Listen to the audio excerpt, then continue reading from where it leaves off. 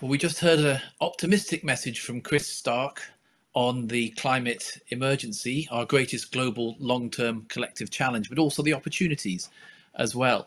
But of course, that's not the only challenge banks and bankers face at the moment. There are wider environmental and sustainability risks and challenges. There are the challenges of leading major financial institutions during a pandemic. There are societal demands and demands from colleagues for gender and racial equality and social justice more broadly. There are changing global demographics and a rapidly shifting global geopolitical balance. There are the challenges of digital finance, open banking, new technology, and new competitors. There's a continually developing regulatory agenda. There's the need to attract, retain, upskill, and reskill colleagues. There's the prospect of negative interest rates and what that means strategically and operationally.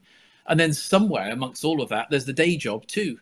And of course, we, we shouldn't forget families and friends because senior bankers do, to the surprise of many, have lives outside of work as well. There has perhaps never been a more challenging time to lead a financial institution. So I'm very grateful to our four global banking leaders for finding the time to join us this morning. So welcome to Alison Rose, Chief Executive of the NatWest Group, to Peter Blom, CEO and Chair of Triodos Bank, to Dame Susan Rice, Chair of the Banking Standards Board, and to Charles Haresnape, Chief Executive of Gatehouse Bank. Would love to have some questions from our global audience, so please send them in as soon as you can through the conference EFX platform, and do share your thoughts on Twitter at Finance for Change using the hashtag ethicalfinance2020. First of all, though, um, I'd just like to uh, check in with you all and, uh, and begin by asking you, firstly, how are you? Where are you? And how have the past seven months been for you personally and professionally? Perhaps Alison. Um, well, thank you. I'm very well. Um, nice to see uh, you all. Uh, I mean, it's certainly been a challenging period that we've all been facing. I, I, I, think probably most people would say it's been some of the most personally and professionally challenging times that we've ever faced because they're so uncertain and we're dealing not just with a health crisis, it's a health crisis that's triggered an economic crisis and, and there's a huge amount of uncertainty. But you know, on the professional level, um, we've, if you'd asked me uh, a few weeks before the pandemic if I could get 50,000 colleagues working from home, I, I would have been a little bit skeptical, but we have, and, and that's good. I'm currently working at home at the moment, but have some time in the office as well. Um, on the personal level, you know, uh, I have two children, so managing homeschooling as well as running a bank has been uh, definitely a challenge, but but on the positive side, I've, I've got to see my children every night for supper, which is an unusual thing mm. um, and not something I've, I've experienced. So like most people, there've been uh, huge challenges, but good and bad bits. And, and we're all having to adapt very quickly to a new environment. Oh, great, yes. And so which, which role is more challenging, uh, a bank chief executive or being a teacher, do you think? Oh gosh, uh, being a teacher, uh, definitely. Great. Uh, Charles, so so Charles isn't joining us from from home today. Charles, how how are you? perhaps you'd like to tell us where you are today. Yeah, I'm good, thanks. I, I do spend most of my time at home, but today I'm in Wilmslow in Cheshire. If anybody knows where that is, uh, we have one of our small offices is uh, is based there. Uh, it's actually nice weather today, which is extremely rare for the Greater Manchester Cheshire area. Um, but yeah, I'm good, thank you. Um, uh, as Alison has said, it's been it's been an incredible time for lots of different reasons. Uh, we're a much much smaller bank than NatWest Group, but we managed to get all our people at home straight away when the pandemic first started. Um, on a personal level, um, I've got, because I'm ancient, I've got older children uh, who have left home, uh, one of whom is a surgeon and caught COVID in the hospital. So I've had first-hand experience of a family that she you know, had a mild symptoms, thank goodness, recovered well. So I've had first-hand knowledge of, you know, the kind of personal uh, worries of the whole COVID thing, mm. as I'm sure obviously many millions of people had as well. So, yeah, it's uh, it's good that we've actually got uh, up and running as a bank as well, and um, we continue to perform, you know, very efficiently, trying to keep uh, good mm-hmm. customer service going, which is always the primary objective, really. So, yeah, I'm good, thank you. Mm-hmm.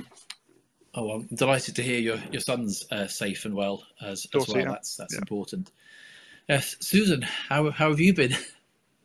Well, I've been fine. I was thinking as, as my colleagues were just talking, if I had to put a couple of words to the last six months, what would they be? And they would be time and discovery. Um, so let me explain um, what I mean. I chair or I'm the senior independent director on several corporate boards in three sectors, all of them with essential workers, so groceries, water, and of course financial services.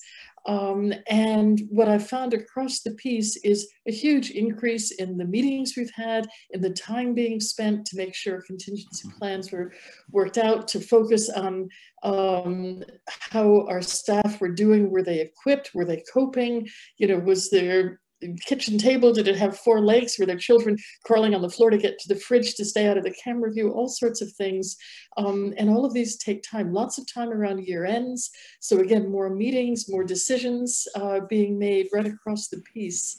Um, so there's a sense that time has not only been taken up more, but actually has been different. Normal life, I go out, different cities, different places for my meetings. In between meetings, I go outside, I go upstairs, I walk, take a train, a plane. Um, there are there are sort of interruptions in the day, and the days seem not only full but long. Now they're full, but there are no interruptions. I sit and I look at Zoom or whatever other app I have in front of me. And after the first month, I realized I hadn't really gone outside except to walk the dog at night and um, hadn't had any exercise and actually had to sort of rethink how I was spending my time.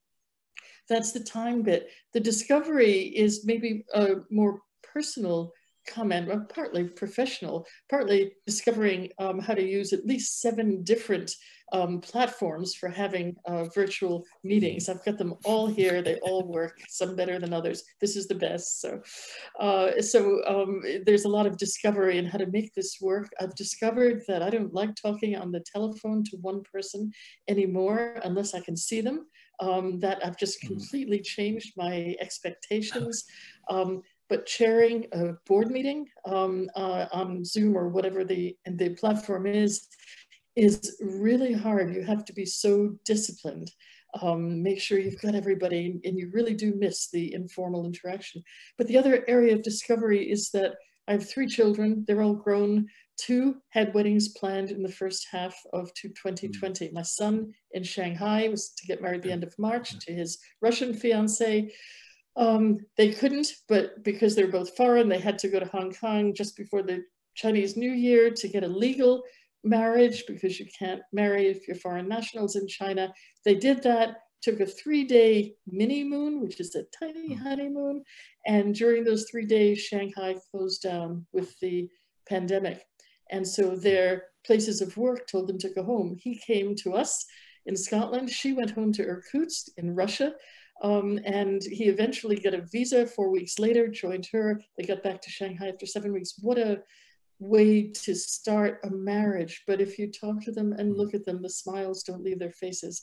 And um, you know, you discover there's a lot of ways to do things. Discovered it even more with my daughter. Judy got married near us in Scotland in um, early July. They decamped to our house because uh, two of them doing Zoom calls on their kitchen table at the same time didn't work down in Oxford. In, in Oxford. Um, so they were here and my oldest son from Edinburgh had come out here. So we became a family again um, of grown-ups. And she suddenly said she wanted to take um, things in her own hands, in control. And in two weeks, we organized a Zoom wedding. Um, and I won't go into the details, but completely COVID rule compliant in Scotland, eight people, mm. including bride and groom, outside a local florist who built an amazing floral arch and almost cried when she was asked to do this. It had no weddings, which is her trade for four months. Uh, uh, the rain stopped after 10 days. It stopped an hour and a half before the ceremony. We put down our mm. see-through umbrellas um, and we had 100 people joining this Zoom wedding from four continents in every time zone. And I sat there thinking, wedding doesn't have to be a huge party with lots of people and lots of stress and worry. Um, this is really what a wedding should be. So you learn to open your mind and just discover things can be different and very good. Mm, well, fantastic. And uh, of course, that's partly what we're hoping to achieve today is to sort of open the minds of a, a, large global and growing ethical finance community and discover what can be good from this. Um, Peter, does a lot of that uh, resonate uh, with your experience of the last uh, seven months as well? it had in a certain way also be a journey, I must say. It started for us when we heard from our Spanish colleagues who were really ahead of us with Corona, what they had to do. Mm-hmm. So the first signals were, were there, and then we had to uh, close the office basically, or at least uh, have people working from home that worked very well. I think regulators were very much impressed by how good banks have become in oper- to be operational from that they themselves were not so good at it, by the way. They admitted it. yes. so they could learn. They could learn from us. Uh, very quickly, uh, we moved our attention to the customers. We really wanted to know where our customers were and uh, had very, very close contact with them. Some of them, we call them almost every week. Uh, and all the, the, the teams that did very well there. That was very important. We also helped a lot the government by finding the right sort of fine tuning in the measures they could take. Uh, we, we created a small Corona credit facility.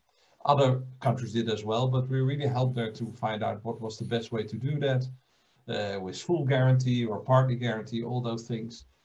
And the last thing we started to do was really thinking about what does this all tell us about our current economic system. I think the resilience of the system is not good and actually, we discovered with our economists, I'm also part of the Sustainable Finance Lab in the Netherlands, that the whole resilience factor is not properly in business models. Right? We have to learn there. We have to learn that the longer term resilience is a price and do we really price them in? So it's an ex externality we have to look into. So I'm very interested to see if we can keep that thinking on that level and start to change our economy, including the way we finance the economy. So for me, quite an interesting learning journey, partly working from home, now also partly from the office. Great journey in that sense. Mm. Great. Well, I think thanks for introducing some themes. I think we're going to pick up on uh, later on as well. Um, but most importantly, it's kind of great to hear that everyone and uh, you and your families are all all safe and well, which is the most important thing. Um, let's turning to some of the uh, areas for discussion today. So, Alison, if I can come to you, you first, perhaps.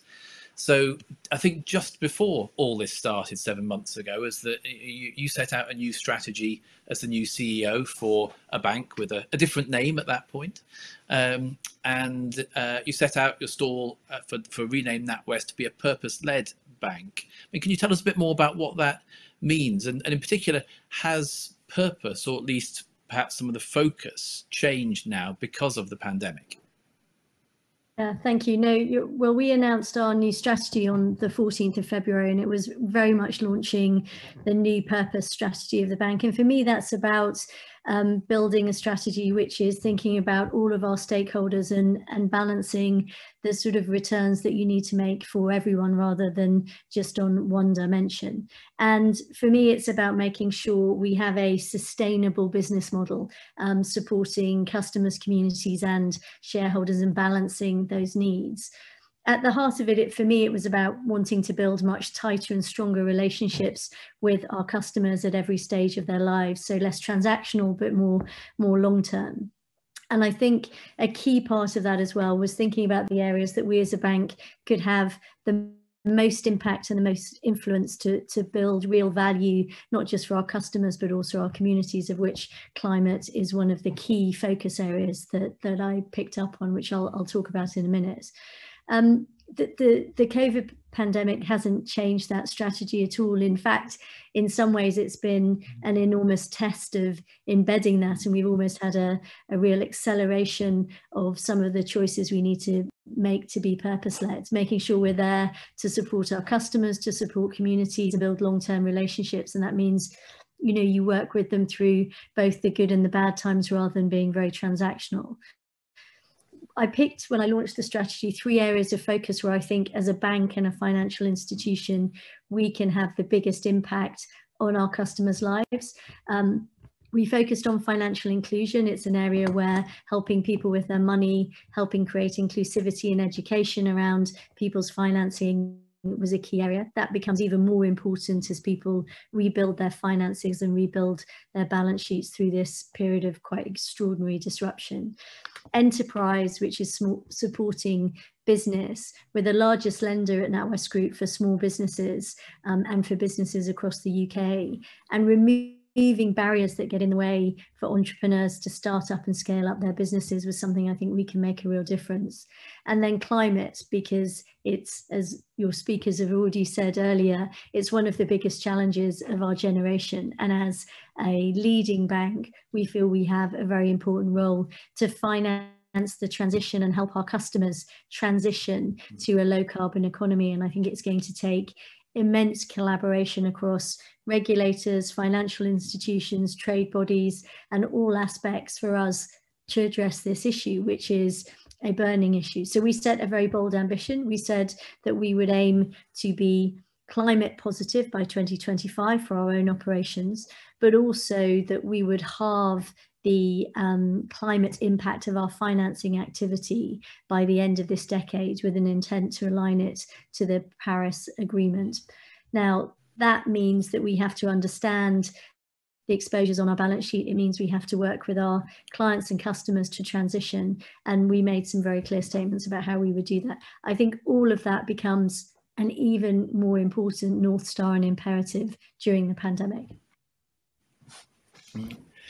Great, thank you, thank you, Alison. Um, Peter, if I could kind of come to you, um, uh, because Triodos, I think, has been a purpose-led bank, kind of focused on impact since it was founded. I think probably about 40 years ago now.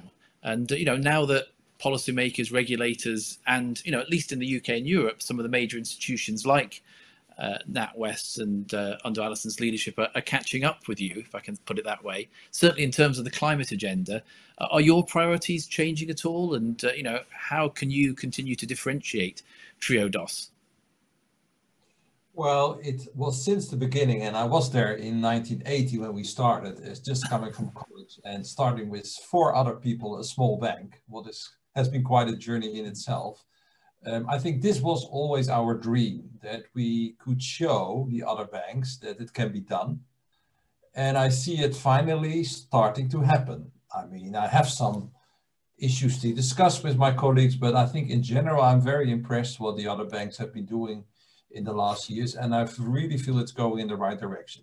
So the, the sort of situation of a front runner is always that they want to be followed. So in that sense, I should not complain now that we get competitors. That's actually um, is, is, an, is a sort of success we have now. Um, and the, the topic is so big that there was, it's impossible to do it by one bank. So I'm very happy that the financial sector comes in and takes its responsibility. But we have to realize not so long ago, it was something banks were not so interested in. And I think uh, the SDGs, the climate conference in Paris, they really put those things on the agenda. And, and we have been starting in different countries. I'm not sure if that's also the case in the UK, by the way, to bring the whole financial sector together in agreements, collective agreements to the uh, reduction of 50% CO2 in 2030 and really get commitment from the sector. Say we want to see in our uh, balance sheet, and Alison was referring to that as well. I'm very happy about it. We want to see in our balance sheet that it goes really with a concrete reduction of uh, 50%. I think that's a very important achievement and can only be happy about that. And then about differentiating, I think for us as a front runner, niche player, uh, we have an entirely sustainable portfolio. I think we continue to see new opportunities where we can, for example, do it in a in a social inclusive way, the finance, uh, mm. creating a lots of small projects who can be, an, again, a role example for others. I think also the connection we can make between equity and, and debt and to bring that together through our investment funds is still rather new. So I don't think there is a lack of work to be done and we can uh, really show new territories we can go into. We also will watch very carefully that there is no greenwashing. And uh, maybe we come later back on that because I think uh, banks have to be honest. There is still a lot of brown assets in their portfolios. And actually to get uh, to transform those brown assets into green assets is one of the main tasks, I think, particularly of the big banks. And they have time for that. Actually, from an environmental point, not so much time, but they need the time to make that uh, transformation happen. And I think there we have to watch very carefully that we don't stay too much behind with that. And we are very happy to be uh, the, the signaling factor in the financial sector because I think that's important. We have to really move more quickly now, and it's not something we can take a lot of time for. It has to go much more quickly than so far. So that's a real challenge for us as well to help our colleagues to be aware of that and together make it work. Great, thanks, thanks, Peter. And, and, I would like to come back to some of the points on social inclusion and perhaps as a broader point there around social justice as well uh, later on. But um, picking up on your point around differentiation as well, perhaps Charles, I could bring you in now, um, and perhaps not everyone joining us from around the world will know that Gatehouse Bank is a Sharia compliant UK bank, although I know we have a lot of finance professionals joining us from uh, Southeast Asia, and many of those may be Islamic finance professionals themselves. But could you perhaps tell us a little more about um, uh, your approach and and what this means in terms of the the green finance, the responsible banking agenda. Perhaps what and what, if anything, has it meant in particular in recent months too? Yeah, sure. I mean, uh, yeah, probably not what people do realise. Uh, Gatehouse Bank is a UK registered full bank, but it is a Sharia compliant bank, and it has been throughout its whole life of 10 years. Um, essentially, that equates to ethical finance. Because if you look at the principles of Sharia finance, it's about fairness, it's about inclusion, it's about work looking after your colleagues, your consumers, and also your community in particular. So we're really we're, we're proud that that is our history, and actually it chimes very well with a lot of the ethical finance debates that are currently going on. Um, we were also a founder signatory of the UN Principles for Responsible Banking. Very proud to do that but we're very small. We're a very small bank in the scheme of things. Um, and we have a kind of a relatively diverse range of activities between financing home finance in a Sharia compliant way, but also we, we develop and look after several funds that build in conjunction with UK house builders homes for rent in the UK. So we have a, we have a lot of kind of footprint around the real estate, but particularly residential real estate. Uh, and that interests us hugely because we think we can make a massive difference in our own small way. Um, I mean, an example would be, you know, of the 1,600 houses that we currently have built and managed entirely in the north of England as it happens, and they're rented out, um, but they're all built on brownfield sites. So none of them are built in urban sprawl, green belt, or any greenfield sites. Mm but the residential home sector is 33%, I believe, of all the emissions in the UK. Mm. So tackling that is really a massive part of, uh, of, of tackling the whole, you know, climate change agenda. So because we're small, yeah, we can do lots of things and we can do lots of initiatives, but we need to be feel that we're partnered by some of the big banks because we need to have joined up initiatives and a collective approach to, to this. So I, I, think rather than relying on regulators and trade bodies and all those kind of things, there's a fantastic opportunity for big banks to small banks to talk a bit more and find out what each other are doing. It, it clearly can't be a competitive thing because some of these banks are huge and we're really quite tiny. So, you know, it's, it's, it's not a competitive thing at all. It's about how can we learn from people who've got great resources doing huge amounts of research that we can kind of, you know, piggyback on and, and have some consistency. So I'm looking forward to this whole initiative being around, as people have said before, collaboration. I think that's the most important thing that we can do in the UK. What we don't want clearly is the regulator or anybody else coming along and telling us how to do it and, and chivvying us up. That would be absolutely the wrong approach. So I think we, we've done some great things as individual banks and finance institutions over the last two to three years long way to go obviously but I think you know if we can do more together, that would be you know that'd be fantastic. Um, so there's a lot more I can talk about later on in terms of what we're doing in practice. Um, but we we think we're on a really strong journey now, and uh, we'll carry that on. Whether it be our own footprint, which we're looking at in the UK, we have we have you know a lot less offices than NatWest do, but we do have offices, uh, and we're looking to make those obviously carbon neutral. That's, that seems like a quick winning, quick win and working closely with the Carbon Trust to make sure that we're independently audited rather than just saying that we've done it. Mm. Um, and then moving forward from there to see if we can get our, our home financing in particular more carbon neutral as time goes on. Hmm. So I hope that gives Great, a flavour of kind of who we are and what we do. It definitely no, I think that's that's really helpful. Thank thank thank you, Charles. Um, and then maybe Susan, if, if, if I could come to you and uh, perhaps later we'll we'll talk about the many different hats you bring to this and many other discussions. But just for the moment, with your kind of banking standards board hat on and thinking about which which again is a is a is a body that does try and uh, uh, help banks collaborate, particularly on issues of culture within financial institutions. Um, I know that the, the Banking Standards Board reiterates Mark Carney's point that a, a clear purpose is a re prerequisite for a strong culture. So, so how, how, how does the Banking Standards Board help banks understand the idea of culture and how to successfully embed it? And, and how does this all then link with the idea of, of working together on the climate emergency and building back to get better uh, post COVID 19? Big question, I know a huge question, Simon. so cut me off when uh, when you need to.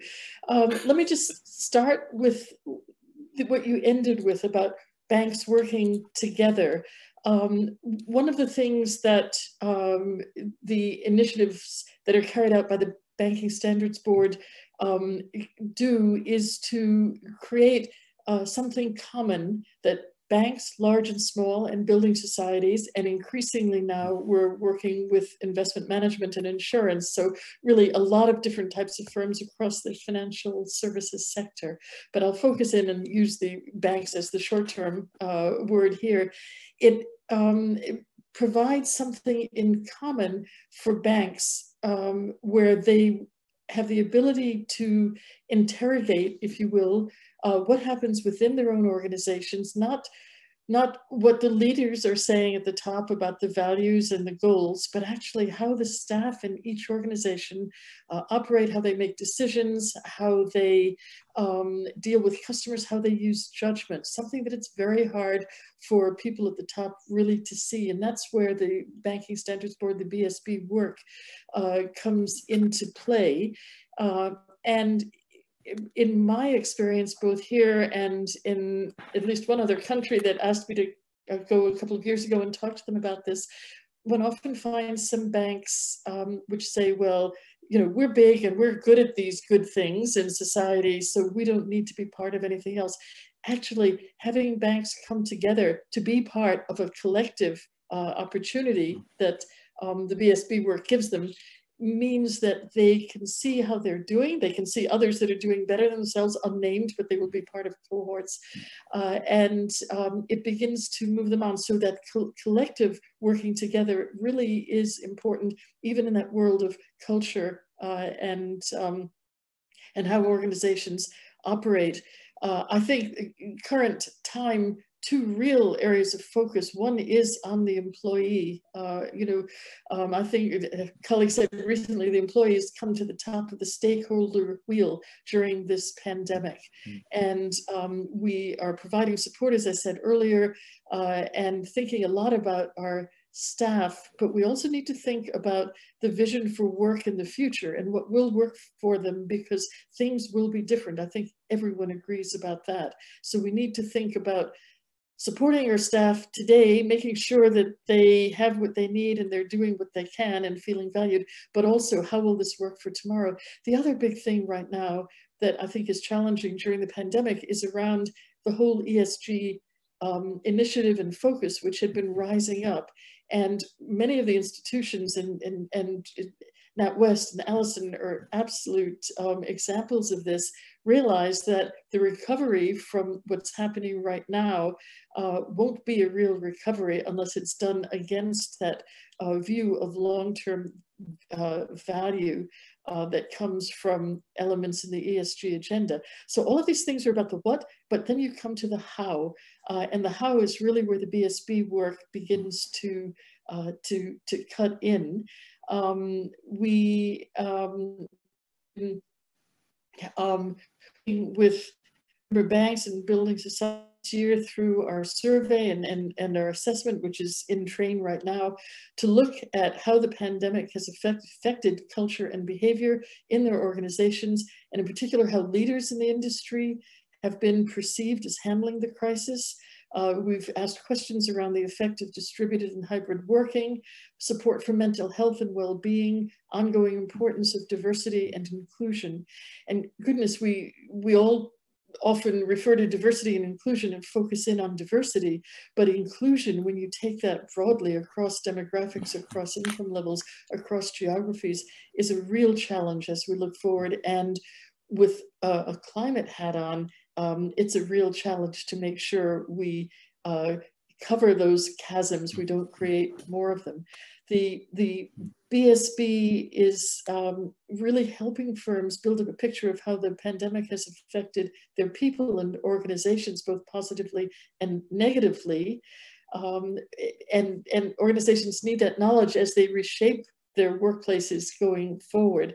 Uh, and we've also brought together uh, a number of leaders. So a couple of weeks ago, I hosted a discussion with um, oh, about three dozen chairs, non-executive directors across financial services. And we talked about the challenges uh, and the uh, amount of sharing there, again, and collaboration and, and understanding others has been very, um, mm -hmm. very helpful. So I can talk more about specific BSB work, but the point is that I think there's never been such mm-hmm. a focus and such a need to focus on the culture within an organization, not what you say you mm-hmm. want it to be, but what is actually happening so you can mm-hmm. then address it. Good.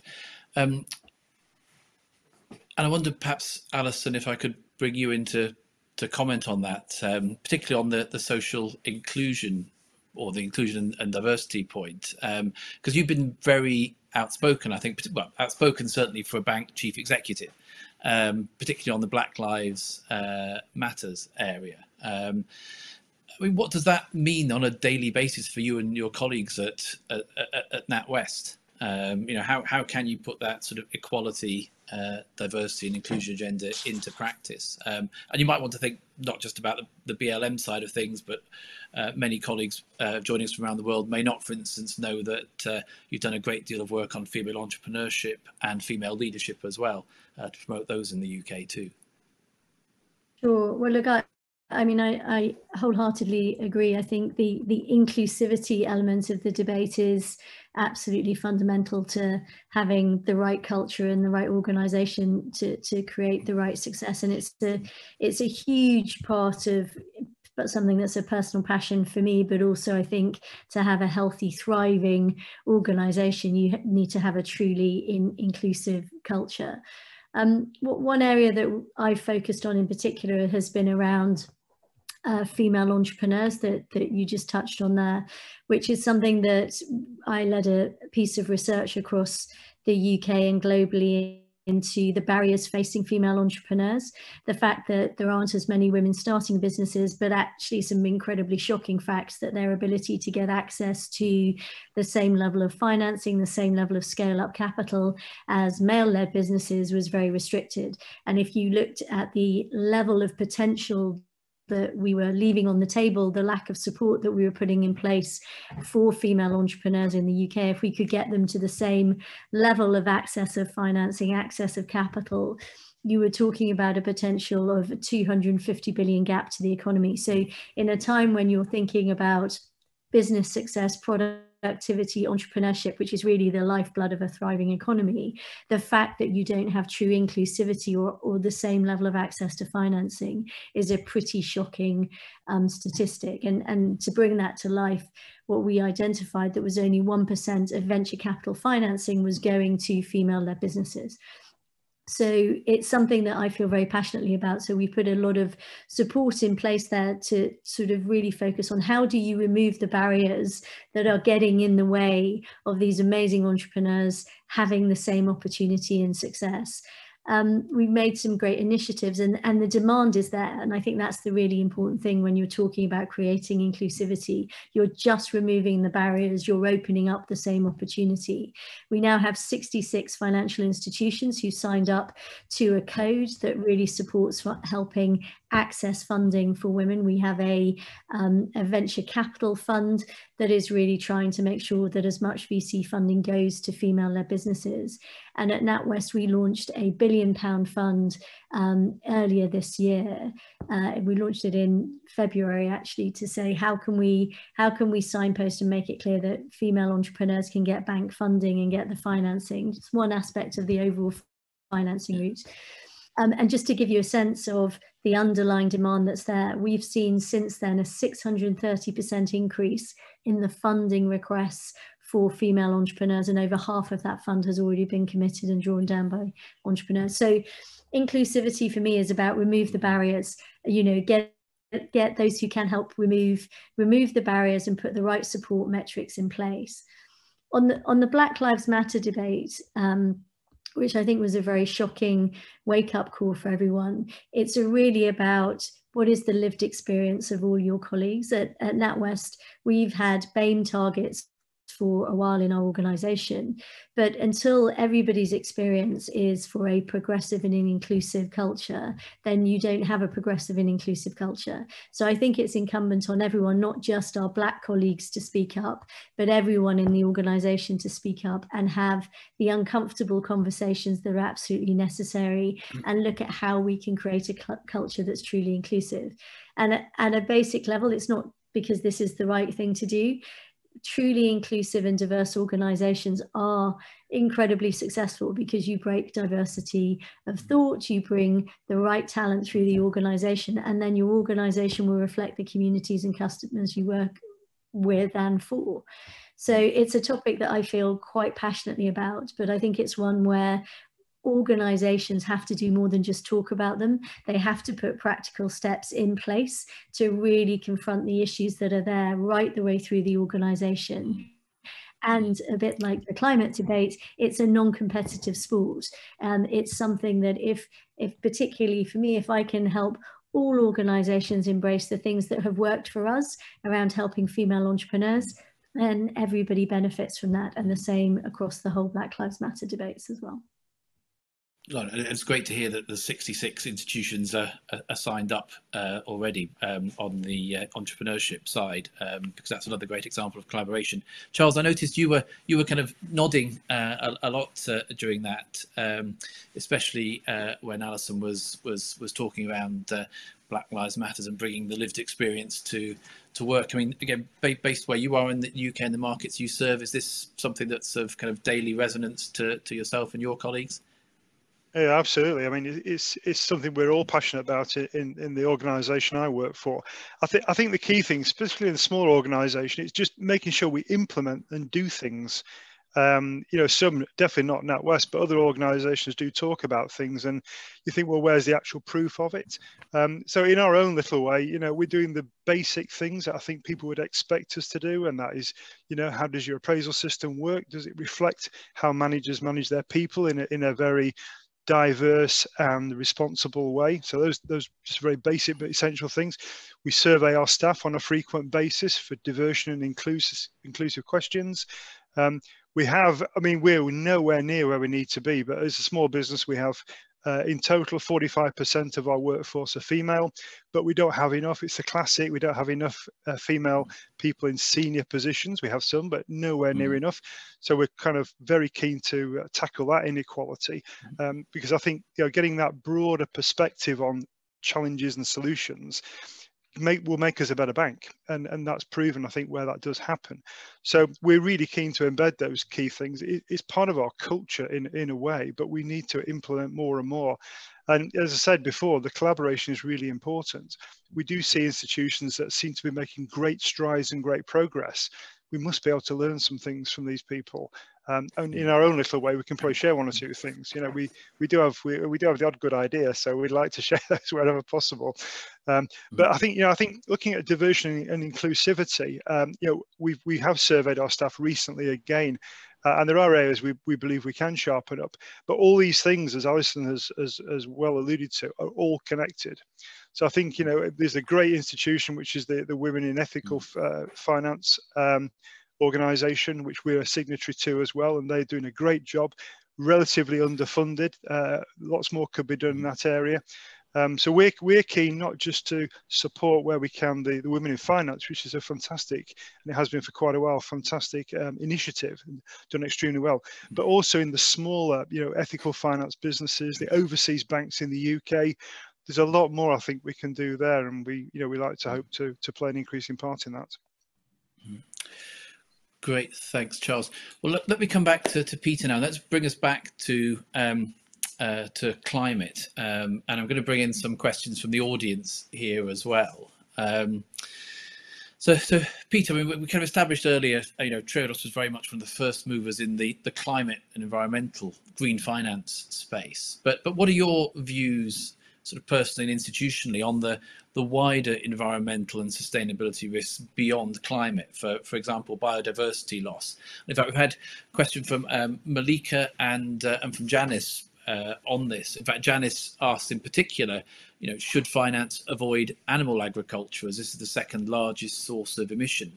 Um, but I know last week we we talked a lot about the biodiversity side in particular, which is very much where we're now now moving to from a pure focus on climate. Um, and I'd love to hear your your thoughts on that, please.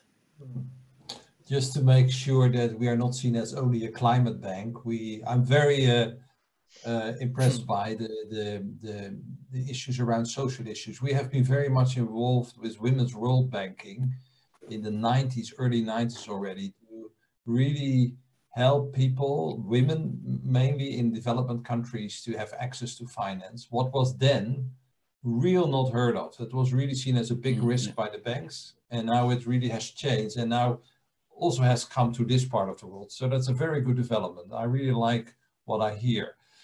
On the biodiversity, I think even more complicated than uh, measuring CO2 emissions in your balance sheet is measuring biodiversity in your balance sheet.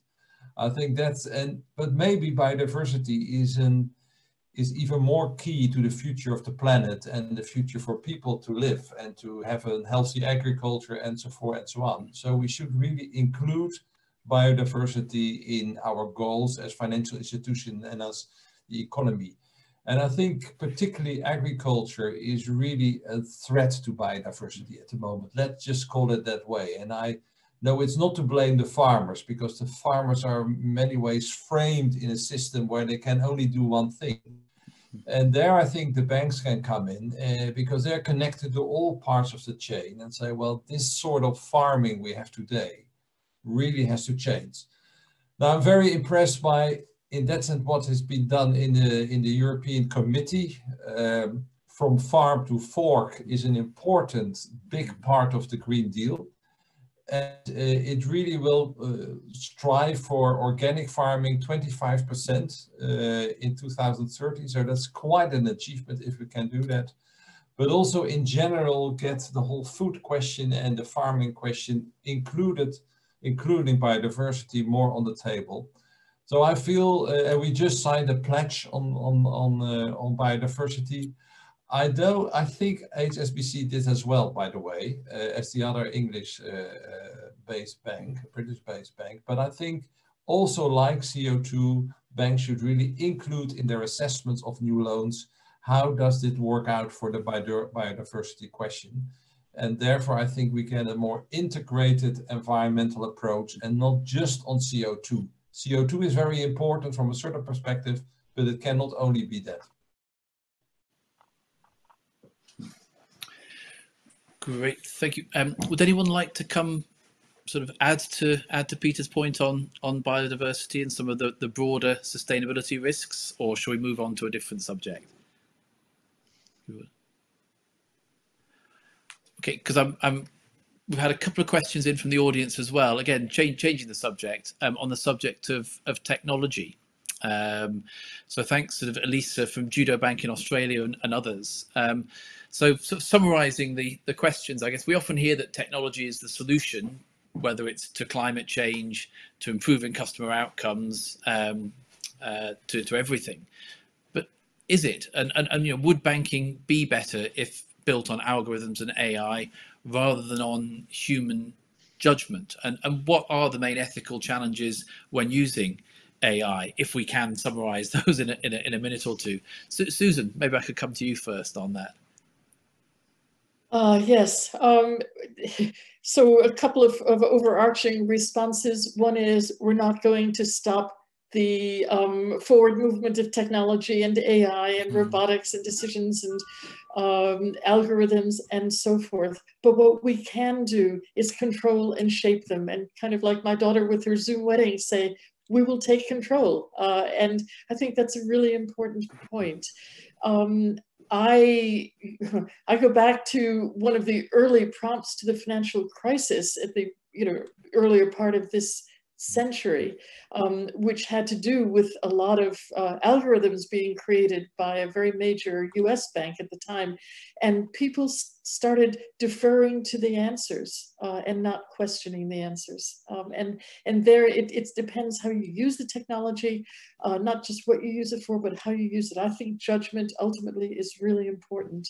Um, and so there has to be good thought right through the piece as these things are developed, um, the approaches, the technologies, as to how they'll be used and how in your own organization in a bank you intend to make use of them. Um, and, and this is where, um, it, it, and I guess that really matters to my mind because it is far too easy, and I've seen this, I mean, I've run a bank, um, it, it's too easy for people to say, the committee decides, the computer tells us that's the answer. They back away, they don't make judgments. And that is a, you know, a hugely negative thing in the world of banking. Banks are in a tremendously privileged position because they're a transmission vehicle between uh, policies of government and desires of, uh, of, of, regulators and funds from this party that go to that party. Uh, banks are in a really important position and they cannot simply relegate or delegate those decisions in their work to uh, automation. But automation has a hugely important place uh, in terms of um, uh, giving greater information, help, information, helping understanding um, in terms of giving access to uh, customers. I mean, I think back, so I have one of my other hats is in the green agenda world. Um, when I was working at Lloyds, uh, large companies can um, work out how to borrow money for their green projects or uh, how to talk to their bankers. Small businesses, the SME community finds it so much harder. And Lloyds not only trained a lot of its um, relationship managers for that a particular group of businesses, the SME community, but it then basically took the requirements, which were at that point rather clumsy, the forms that had to be filled out, uh, and they basically created a, an application in a box, and that worked for the smaller business. And it became um, a digital, digitally enabled um, hmm. activity. So it, it, it, digital um, activities hugely important, but as bankers, we cannot lose control of what they're used for, how we want them to be used, and what we want to achieve with them. They don't yet have the human brain to know what is best for mm-hmm. humans. Uh, I mean, I mean, one of the things that connects all four of you on the, the panel is that you're all career bankers. Um, I won't embarrass anybody by saying how long I think you may have been, been bankers for, but you've all, you know, seen how banking's emerged and how technology's become ever more involved, particularly in credit decisions and, and so on, over over the years. Um, no, Peter, what are, what are, what are your thoughts? I think I'm right in saying you started off as a was it a loan officer, um, sort of uh, um, perhaps ten years ago or something something like that. Um, so, to, to, what's the balance do you believe between sort of technology and judgment? I think uh, as long as you can uh, see technology as a helpful instrument, uh, then I think it works well. If you if technology starts to lead your judgment and you are more sort of the facilitator of the technology, then it becomes more complicated.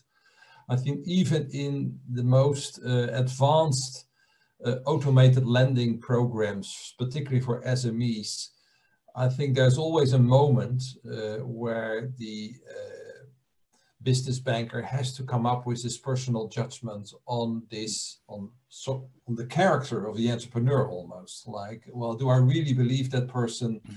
if I look them in the eyes or not? And if we start to leave out that part and uh, replace it by uh, artificial intelligence, I think you may come a long way, but in the end, I'm not sure if we get a lot of new things coming. I mean, the artificial intelligence tend always to repeat what already has been successful. So is there really enough out of the box possibilities and uh, new possibilities you haven't seen really before?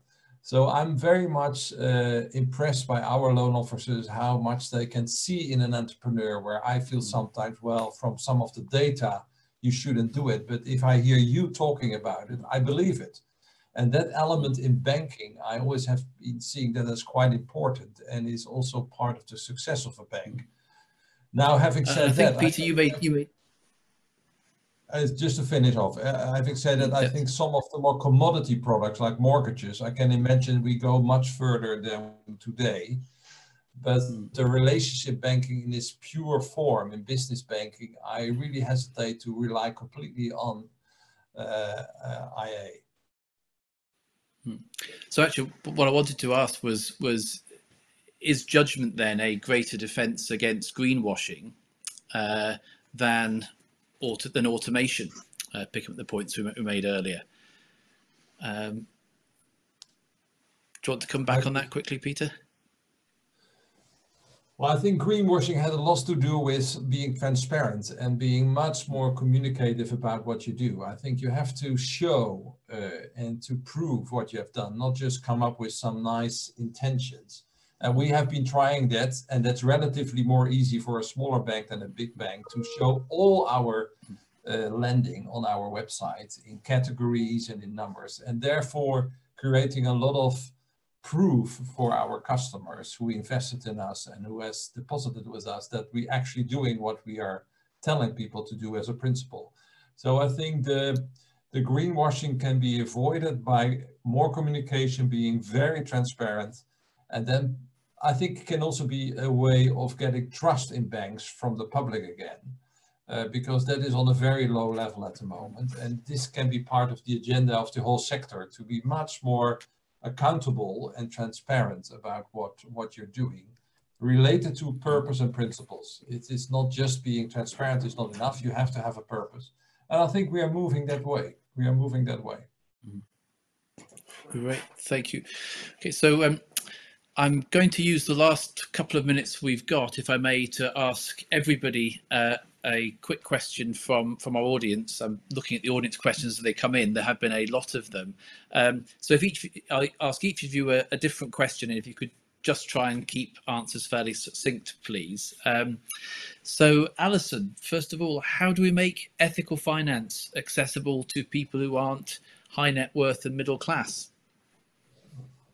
Um, well, I think you you have to recognise that you're supporting across a huge uh, waterfront of customers and make everything as accessible as you possibly can. I think Peter made some good points there around transparency, um, making sure that you're putting the tools in the hands of your customers so that you can um, see what's happening happening and, and measure and be very transparent. This is this is a really important period of transition, not just in terms of inclusivity, but also climate, that we don't leave anyone behind. So I think transparency is really important, making sure we're financing the transition, making sure we're creating truly inclusive cultures um, in order to make sure that everybody benefits it.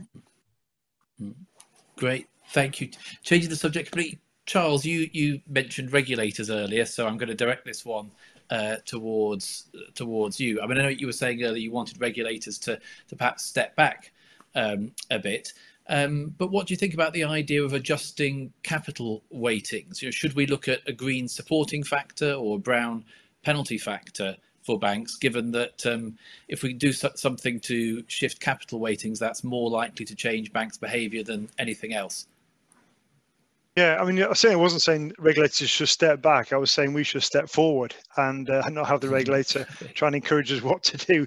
Um, but no, I think I think capital does play a fundamentally important part in this, and particularly at the smaller end of the banking spectrum, where capital is probably one could argue a bit scarcer on, on occasions.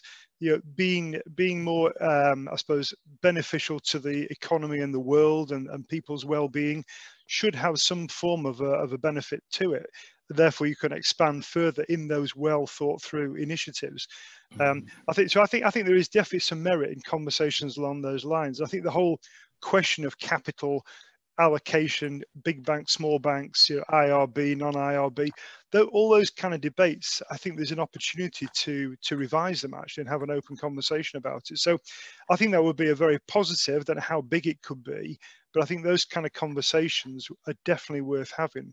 And I think actually would steer some banks into you know be a little bit more kind of aggressive on those beneficial areas and just just tease them more into that activity or speed up the journey i suppose really so i'd be very much in favor of conversations along those lines hmm. Um, Susan and Peter, I'm afraid time has time has beaten us. I'm afraid, but I can I can let you off the let you off the hook, and I'll I'll send you the difficult questions the audience has sent in for you later, so you can see what uh, see what you missed. Um, I wish we could continue for, for, for a lot longer because it's a, a, fascinating conversation and it's just going into so many areas, which is which is wonderful. Um, I mean, if we did this panel a decade ago with uh, with banking leaders, you know, phrases such as social inclusion, social justice, fairness, culture, collaboration, health and well-being and sharing would not have been mentioned. I think it just shows how how far we have gone as a, a sector. Um, I'm afraid all good things must come to an end. One of the downsides of a virtual summit is we can't eat into the lunch break as we can where we're together in person. Although, of course, in the UK and Europe, people may have been eating their lunch while they were watching us. Uh, if so, I hope you've been enjoying it.